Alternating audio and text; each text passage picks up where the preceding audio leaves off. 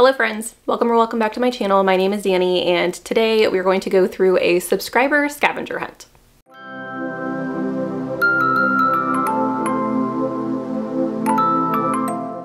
I wanted to do this video to celebrate you guys because I recently hit 900 subscribers. I would not be here without you. I cannot believe that there are 900 people in the world that find my content interesting. There are so many of you who are chatting with me in the comments every single day, every single week. You're in my sprints. I am I'm just truly blessed to have you guys in my lives and I wanted to do something a little bit fun, uh, maybe interactive with you guys. And so I did a couple of days ago ask you all for some prompt ideas in my community post. And I had a lot of people answer the call for my prompts list. And so I created a little bit of a scavenger hunt for you guys. This is not a typical scavenger hunt. I have created some goals in mind and some rewards if I meet those goals, some punishments if I don't, and you guys are actually going to be involved in both. So if I get the reward, you guys will be involved in that way, and if I get the punishment, you guys will also be involved in that. Uh, I just think this is gonna be a fun way for us to interact on my channel, and I, I hope that you enjoy it. So what are the rules of this scavenger hunt, you ask? Well, I have my prompt jar full of the prompts that you gave me in that community post. And I want to pull 10 of these. At the end of the 10, I would like the prompt to indicate to me which of the physical TBR books that I have that I'm going to have to read for a vlog that I will post at a later date. There will be a secondary book on that vlog, which we'll talk about in just a minute. Those are not the only rules though.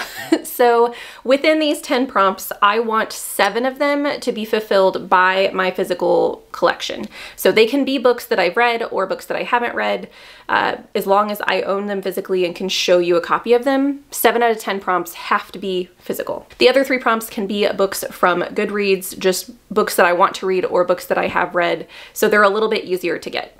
The next goal is that I have to have 60% of these picks 60% of the books that I find have to be books that I have read in the past.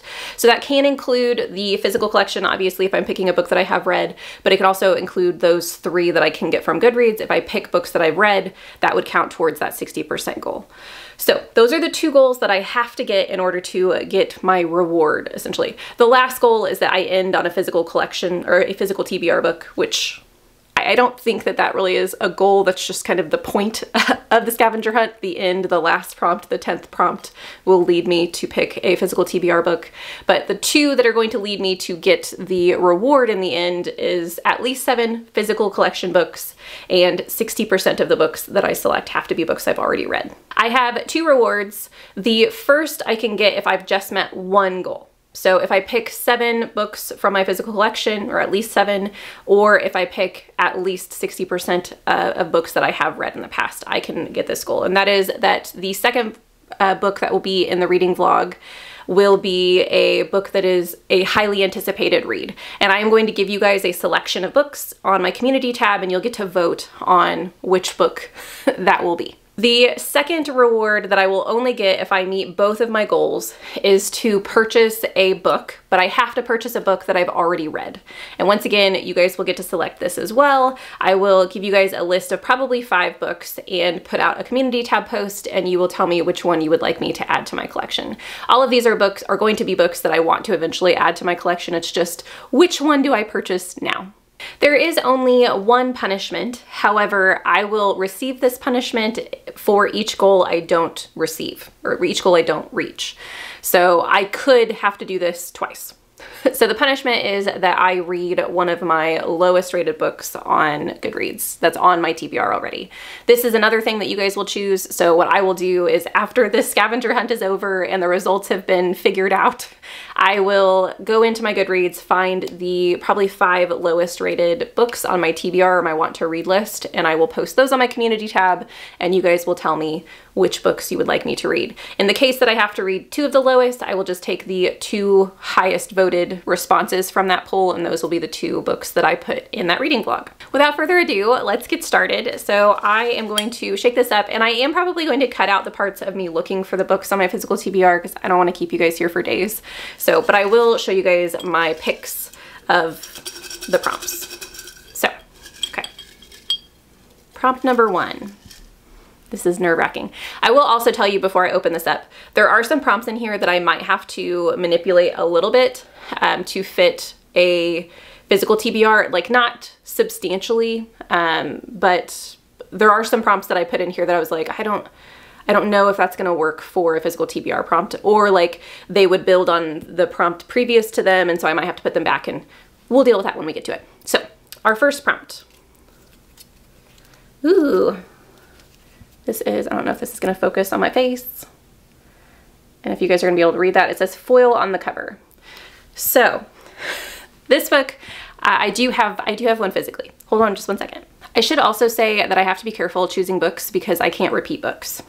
so, uh, and I have a limited number of physical collection, but this is the book I'm choosing for this. This is Tress of the Emerald Sea, and I do have this very nice foiled edition uh, that came in the Year of Sanderson boxes last year, and I'm so proud to have this. It's a lovely book. Uh, it's a book that is based or inspired by The Princess Bride, and you follow Tress, who lives on an island, does not want to leave her island. She's perfectly content with her life, but because of certain circumstances, she does have to leave and go on a little bit of an adventure. It's, uh, I, I think that this is probably one of my favorite Sandersons. I still think Stormlight and Mistborn are above it.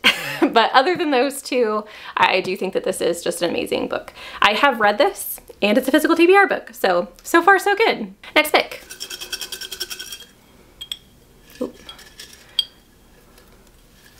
Okay, let's see.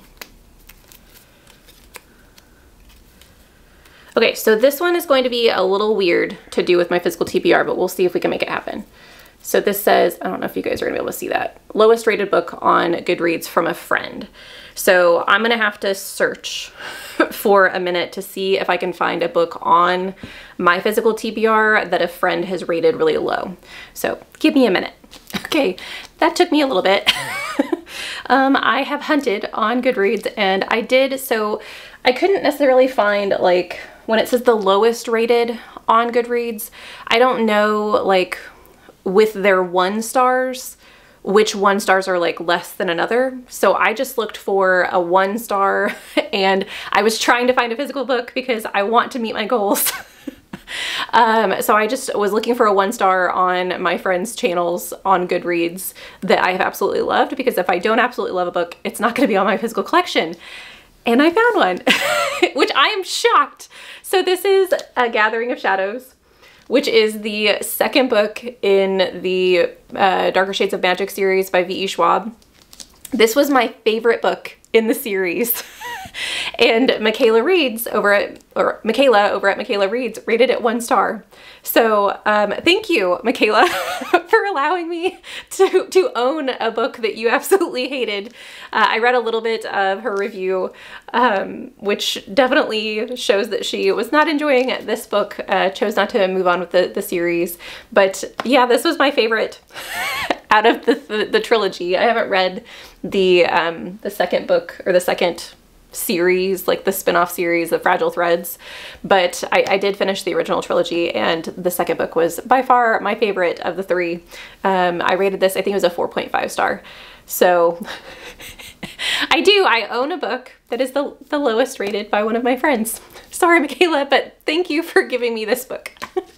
if you guys haven't heard of Darker Shades, um, I, I, won't explain the second book because of spoilers, but Darker Shades of Magic is a trilogy where you you follow two main characters, Kell and Lila, and Kell is um, an Antari. So he has magic, he can travel amongst the different worlds. There is all these different types of Londons. There's a red London, a gray London, a black London, a white London, and all of them have various forms of magic or no magic at all. And most people in the world do not realize that these, or they realize that they exist, but they don't, they can't travel to these other Londons. But because Kell is Antari, he gets to. Lila is someone who is down on her luck, um, definitely has to do some some things to survive to make her life a little bit easier and they get intertwined in some kingdom politics the the bigger picture of the fact that there are all these different types of londons. Some of them are struggling more than others because of their ability to use magic uh, and i just thought it was a really fun series. Next pick. Oh if you hear andy's feeder going off he's going to go eat now. Let's see. This one's a big one Uh, a book whose Goodreads average matches your Goodreads average. My, this is another one that I'm gonna have to go look up. So you guys, so you know I'm telling the truth. Um, so this one, a book whose Goodreads average matches your Goodreads average. So I'm gonna have to go figure out what my Goodreads average is. And then I'm gonna go look on my physical TBR shelf to see if any of them have a Goodreads rating that's the same. So give me a minute again. Okay, so that took a little bit of digging as well. All these Goodreads questions. And I know there's at least one more in the jar. so this might not be the last time I have to go to Goodreads. Um, I unfortunately could not find a book that I had read that was that matched this criteria. But I found a book that I owned. Unfortunately, that means that this book is like out of the running for the last book that I will read. So the book that I will read my physical TBR, but uh, we'll see. So my average Goodreads rating right now is a 3.88. So the book that I found didn't match exactly, but was a 3.87, which I feel like that's fair. So, and that is Frankenstein. Uh, this is a lovely edition that Leander actually purchased for me for my birthday, and I still have not read it. I have two, this I think this is the only book in my collection I have two editions of because I have this one and then I have the 1818 text. And I still haven't read it. I've read part of it. I got to, and it was, I didn't stop because I didn't like it. I just got busy reading other things and forgot about it. And so I need to go back and restart. So this one, I, I do own it, but I have not read it. So we'll see how the rest of this goes, my friends. Okay, next pick. So this is the fourth pick. Okay, this one should be easy. so this says a five-star prediction with a trope that you've loved.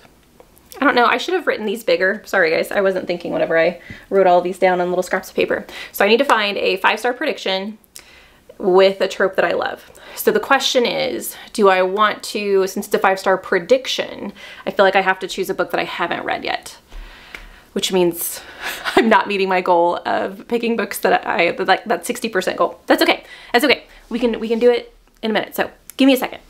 Okay, you can probably tell which book I grabbed from the holes that are happening behind me, but I have chosen Valor for this. So this is the second book in the Faithful and the Fallen series. I read Malice earlier this year and it was a 4.5 and I just can imagine this series becoming a five-star series because I already know the characters and I do currently have this on Libby.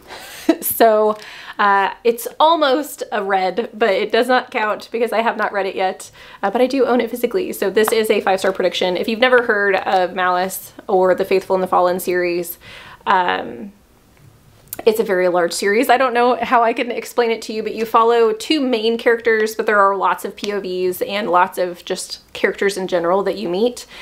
And there are some kingdom politics at play. You have a boy who lives in a village. He is kind of uh, coming of age and you get to see him experience something that you know that there's something bigger going on with him. He also has an animal companion that you get to know and uh, the other character you follow is the Prince of the King who is creating a war band because there are some ominous things going on in the kingdom that are definitely pointing to wars and larger things at play um, with the gods. And yeah, uh, I have absolutely loved it so far. I love John Gwynne's writing. I like the worlds he creates. The characters just have my heart. So I, I do think that this will probably be a five star. Okay.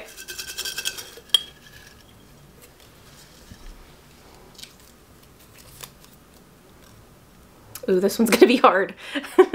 so this says more than one animal on the cover. So more than one animal. If it was one animal, that would be easy. But when I was writing this down, I was like, nope, they said more than one animal.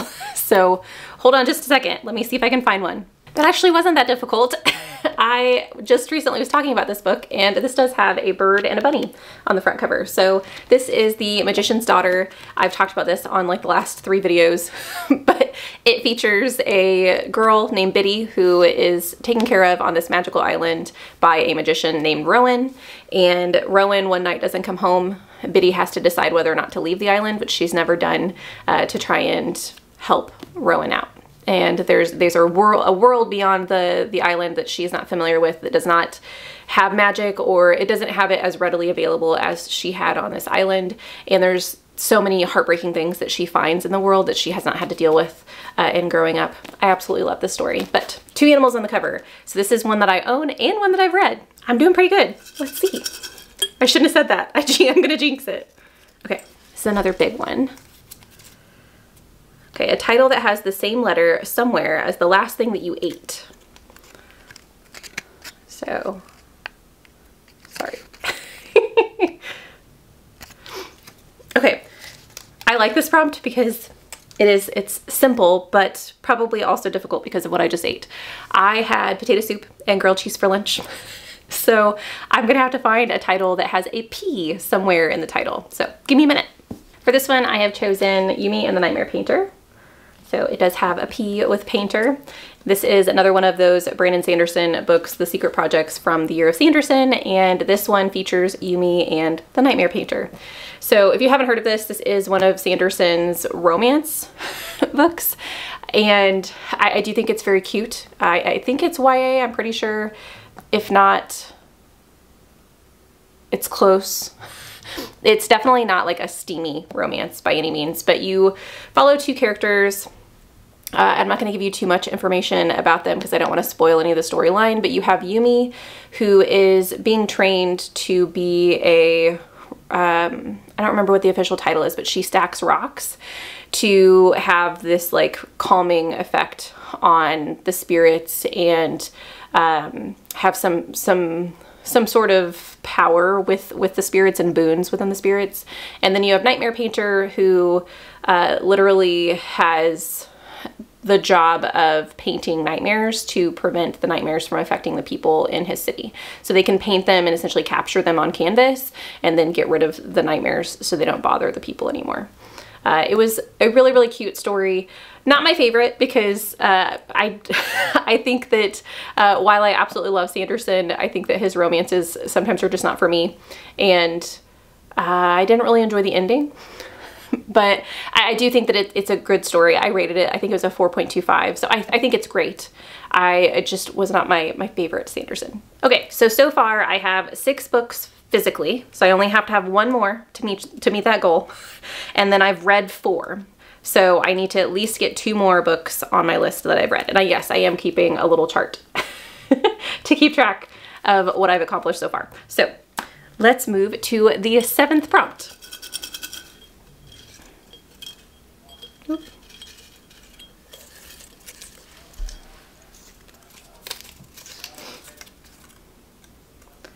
A book with one or more words on, or sorry, a book with one or more words in the title from your top three reads of 2024.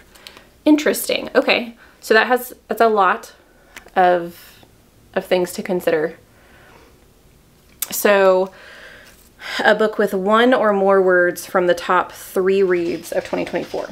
So my top three reads of 2024 were The Book That Wouldn't Burn, uh, The Will of the Many, and was my third The Magician's Daughter? Let me check that real quick. Ooh, it could have been, it might have been Engines of Empire. Let me check. Okay, so my top three were The Book That Wouldn't Burn, The Will of the Many, and Engines of Empire. So I need to find a book with one or more of the words in those titles in them. I have one in mind, but I'm gonna see if I can find something a little bit more challenging than that one, so give me a minute. Okay, the book that I've chosen for this is The Book of Doors. the prompt did say one or more words, and this has the word book, which does match the word book from the book that wouldn't burn, so I think it counts. I did try and look at my physical TBR to see if I could find a book that had more than one of the words, but I couldn't find uh, anything that combined the words. So this one will work. This is a book on my physical TBR and one that I've read. So I have met my physical TBR or my physical collection uh, goal. I need one more for my reading goal. If you haven't heard me talk about the Book of Doors, this is currently my favorite book of this year, where you follow a girl named Cassie, I think is her main name. Yes, Cassie is our main character. She works in a bookstore and there is an older man who is a, a, patron, a patron, patron, a patron of the bookstore who comes in every evening and has a cup of coffee and just sits and reads. And she has a, a, lovely conversation with him, goes into the back to pack up for the night, and comes back, and the man has passed away. And he has left her the Book of Doors. And this book allows her to travel anywhere in the world just by walking through a door. So she decides to start having some adventures, but she doesn't realize that in stepping into this other world, this magical world she didn't realize existed, that some nefarious things are also at play and she puts herself in danger. So I absolutely love this. I think it was fantastically written. It's a debut novel as well. If you haven't heard of it or haven't read it yet, please give it a try. Okay, one more, or not one more, but the next one.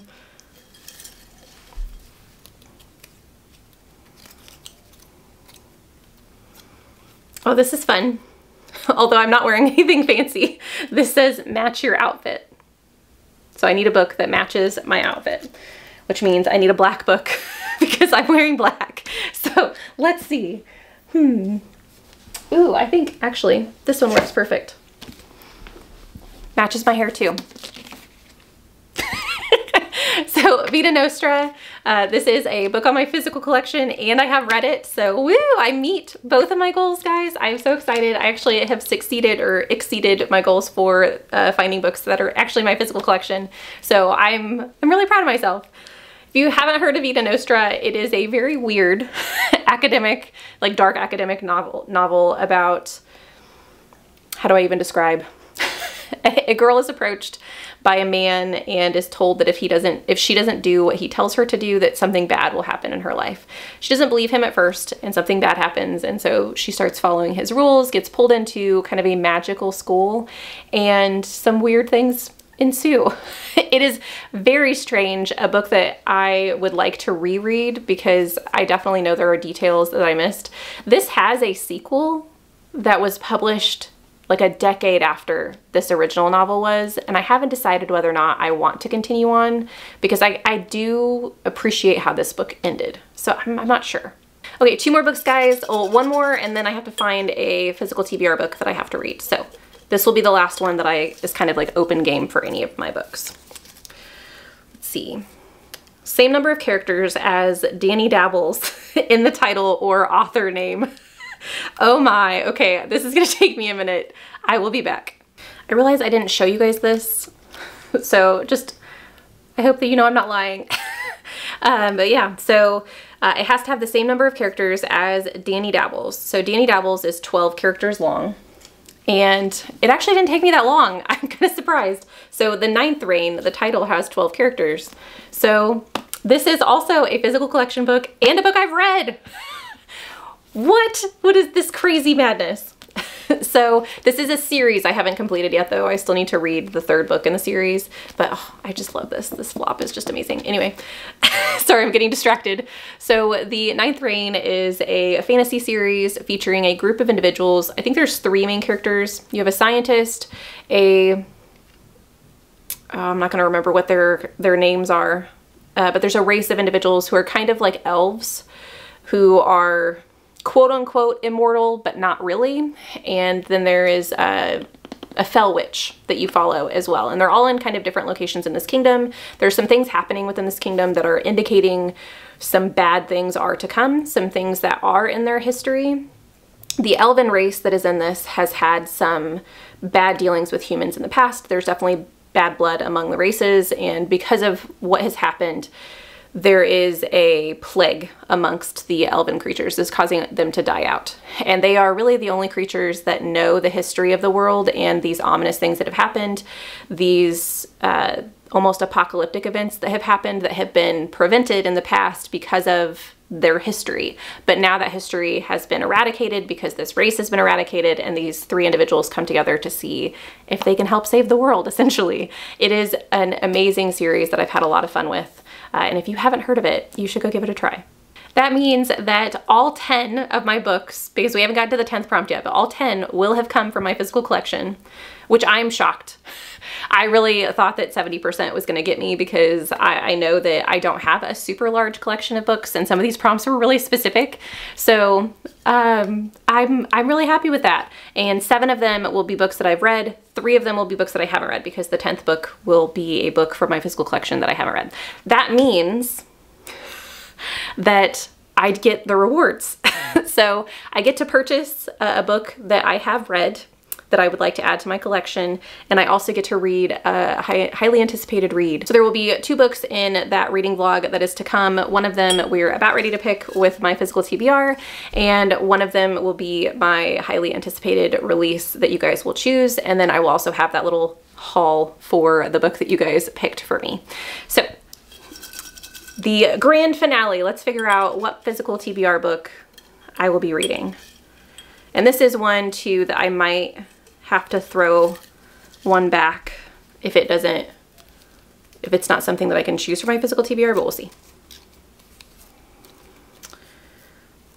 Oh, so this one I am going to manipulate just because of personal information. So this says uh, a book published in the month or year that you are born. And I do not release either of those pieces of information um, on the internet. I just haven't so far. And I know that once I release that information, it's gone or it's out there for good. So I am going to change this instead of my birth month or year, I'm going to say my booktube birthday or year. So uh, I'm probably going to go with year because I think it'll be easier maybe to find a book but we'll see. Um, let me check really quick. I'm pretty sure that my booktube birthday is March of 2022, but let me look really quickly and see if I am correct. Technically I joined in February of 2022, but I'm pretty sure I didn't post a video until March. Give me a second. Yeah. Yeah, my first video was posted uh, in March of 2022. So I'm gonna try and find a 2022. If I can't find a 2022, I'll try and find a March publication date, but I'll be back. This actually worked out perfectly, guys, because I was planning on reading this book this month and I haven't started it yet. And it's a standalone in a series, so I do think that when I vlog it, I can still give you guys details because it's not going to spoil the original story.